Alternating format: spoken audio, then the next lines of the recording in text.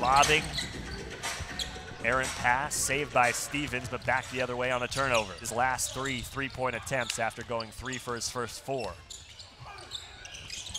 Vander caught in the air, nowhere to go. And a half. The Jet threw it away. Broadcast team here in El Segundo.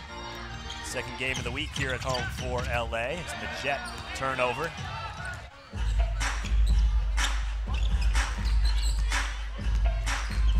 Blair had it poked away, and Henson tracks it down.